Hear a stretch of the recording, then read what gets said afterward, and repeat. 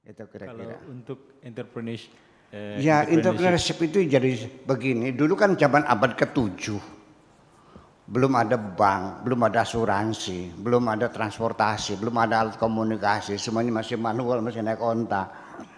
Tetapi pada zamannya Siti Khadijah itu adalah seorang importer dan eksportir. Ya, seorang perempuan. Karena itu ada benang yang putusnya. Ini ada sobeknya dikit. Ini kena ini. Jadi dia tidak melipat barang yang buruk disimpan. Ya, bukan kayak orang tinggal gubuk ya. yang jelek ditaruh di dalam, yang aku taruh di luar gitu. Nah itulah jadi moralitas dalam berbisnis itu saya kira sampai sekarang juga saya eh, sangat eh, memperhatikan sekali. Ketika kita beli sesuatu barang, beli klaker lah di toko di toko orang Cina lah di Cirebon. Pak Haji, ini klaker, ini ori.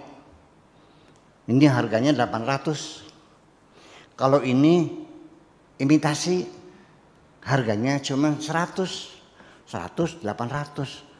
Saya lihat saya kan nggak tahu, sama persis.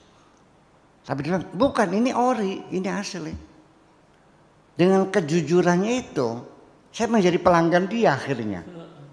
Ya kan? Bahwa akhirnya bahwa ternyata moralitas dalam berbisnis sendiri ketika orang Australia mengirim apel ke Indonesia, ternyata terkirim juga apel-apel yang berkualitas rendah. Dia periksa di gudangnya, mana apel yang busuk tuh? Terkirim. Langsung dikirim telegram, mohon maaf ya kami salah kirim, tolong dihancurkan, akan kami kirim yang bagus lagi.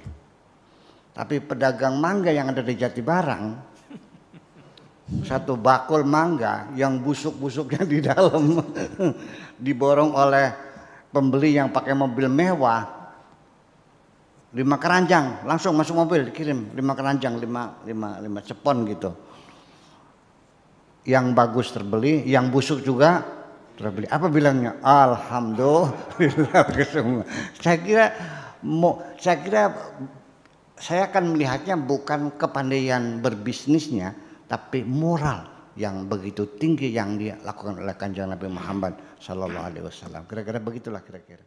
Oke.